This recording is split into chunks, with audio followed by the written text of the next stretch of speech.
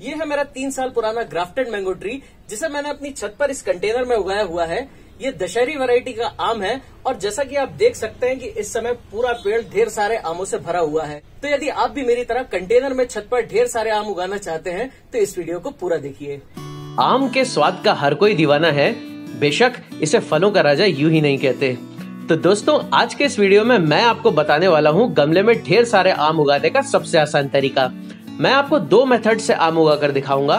पहले मेथड में आम के सीड से और दूसरे मेथड में आम की ग्राफ्टिंग करने का पूरा तरीका बताकर ग्राफ्टेड पेड़ में ढेर सारे आम भी उगा कर दिखाऊँगा, वो भी तीन साल के अपडेट्स के साथ।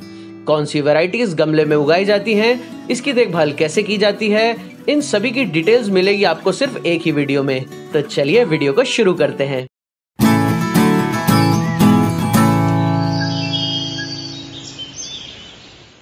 हेलो एवरीवन मैं हूँ शिरीष और आप देख रहे हैं बोनसाई एंड गार्डनिंग जोन तो पहले मैं आपको बीज से आम का पौधा उगाने का तरीका बताने वाला हूँ।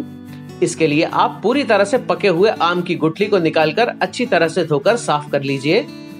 कुछ टिश्यू पेपर्स को पानी में भिगोकर इसमें गुठली को लपेट लीजिए। इस तरह के जिप लॉक पाउच में रखकर सील कर दीजिए।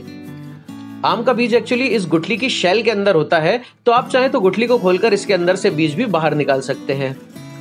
अब इसे किसी ब्राइट लोकेशन में रख दीजिए। आज दस दिन हो चुके हैं। चलिए चेक करके देखते हैं। सीड अब जर्मिनेट हो चुका है। अब इसे सॉइललेस मीडियम में उगाएँगे। 50% परसेंट वर्मी कंपोस्ट और 50% परसेंट कोकोपीट को मिलाकर थोड़ा गीला कर लीजिए। ड्रेनेज होल्स वाले छोटे कंटेनर में पॉटिंग मिक्स भर के सीड को लगा दीजिए।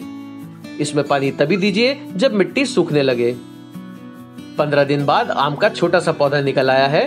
अब मैं इसे ऐसी जगह रखूँगा जहाँ इसे सुबह की दो तीन घंटे की धूप मिल सके। आम का हमारा पौधा 40 दिनों का हो गया है।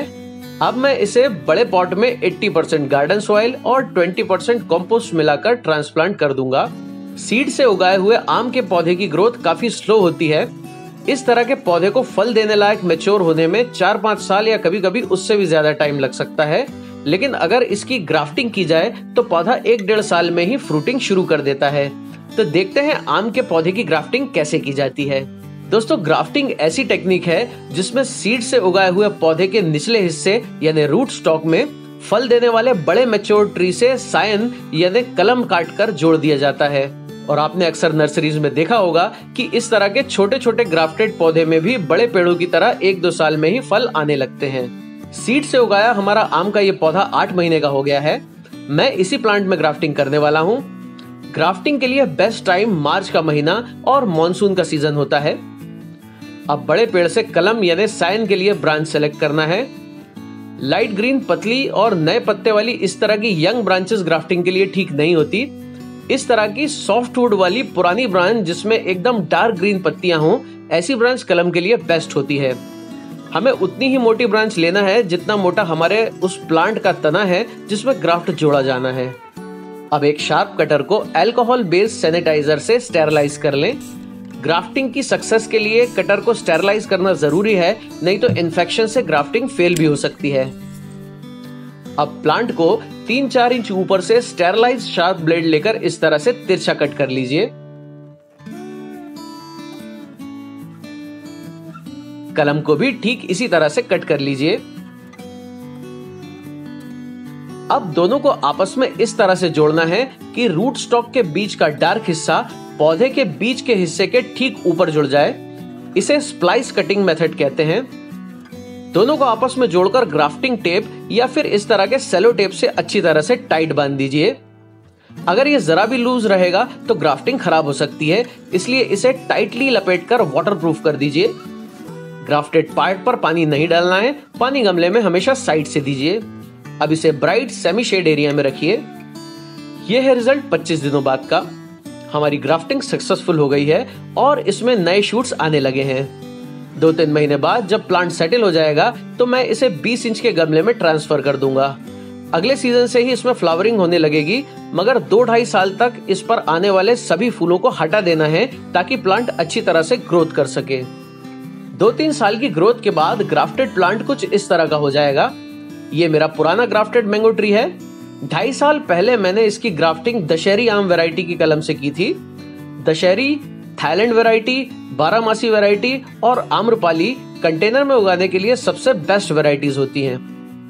इन सभी वैरायटीज के ग्राफ्टेड पौधे आपको आपके आसपास की किसी भी बड़ी नर्सरी पर आसानी से मिल जाएँगे। मैंने इसे इस ग्रो बैग में उगाया था, अब इसे बड़े कंटेनर में ट्रांसफ़र करेंगे। अच्छी फ्रूटिंग के लिए कम से कम 20 इंच या उससे बड़ा कंटेनर बेस्ट होता है। अगर आप इसे छोटे गमले में उगाएँगे तो इसमें बहुत कम या हो सकता है शायद फल आए ही नहीं। मैं इस 24 इंच चौड़े और 16 इंच गहरे प्लास्टिक फ्रूट क्रेट से बने कंटेनर में इसे ट्रांसफ़र करूँगा। फ्रूट क्रेट से इस तरह के कंटेनर बनाना सीखने के लिए ऊपर दिख रहे आई बटन पर क्लिक कीजिए। वीडियो का लिंक भी मैं डिस्क्रिप्शन बॉक्स और पिन कमेंट में दे रहा हूँ। अगर आप आम का पेड़ गमले में लगा रहे हैं तो आपको वेल ड्रेन्ड और न्यूट्रिशन से भरपूर मिट्टी की ज़रूरत होगी।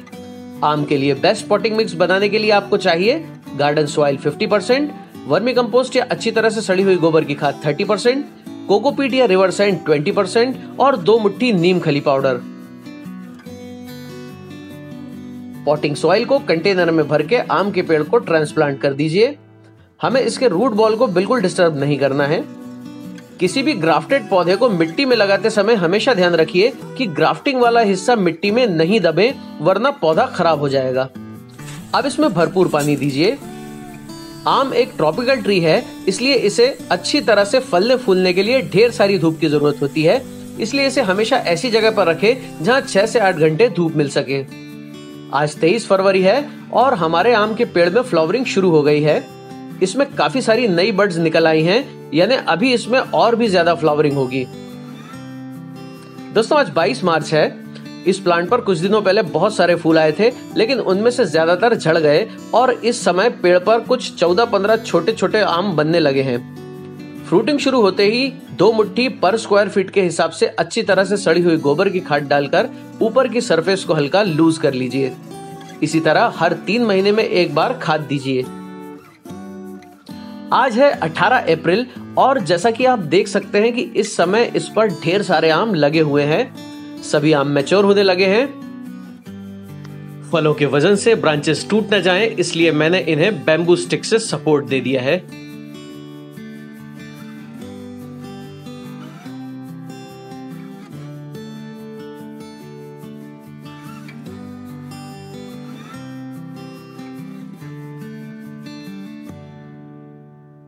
तीन महीने पहले हमारे इस ग्राफ्टेड मैंगो ट्री में फ्लावरिंग शुरू हुई थी और जैसा कि आप देख सकते हैं कि फ़िलहाल सारे मैंगोज बेचोर्ड हो गए हैं और हार्वेस्टिंग के लिए तैयार हैं। जैसे ही आमों का कलर डार्क ग्रीन से हल्का सा येलोइश होना शुरू हो जाए, समझ लीजिए अब ये हार्वेस्टिंग के लिए रेडी है। तो चलिए इन मैंगोज को हार्वेस्ट करते हैं।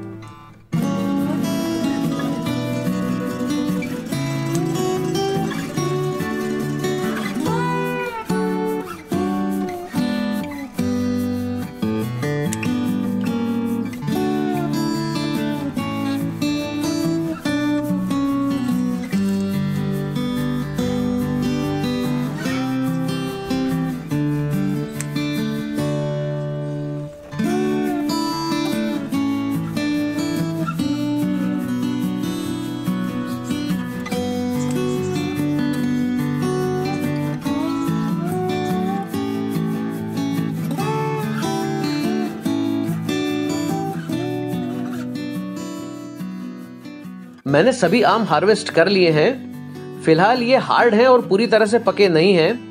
इन्हें पकाने के लिए न्यूज़पेपर में अच्छी तरह से कवर कर दीजिए।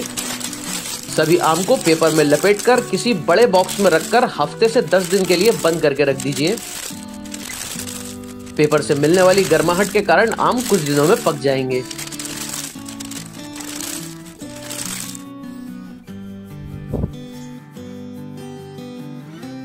आठ दिनों बाद कुछ आम पक चुके हैं। इनमें से सबसे बड़े और सबसे मेच्योर्ड वाले आम सबसे पहले पकते हैं।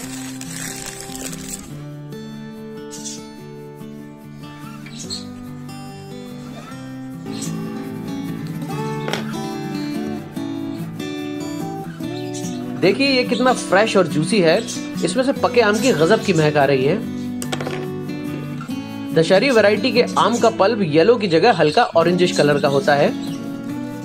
अब जरा इसे टेस्ट करके देखें। हम्म यकीन मानिए दोस्तों, इतना मीठा जूसी फ्रेश और टेस्टी आम सचमुच में पहली बार टेस्ट कर रहा हूँ। तो दोस्तों, इस वीडियो से आपने ज़रूर कुछ नया सीखा होगा।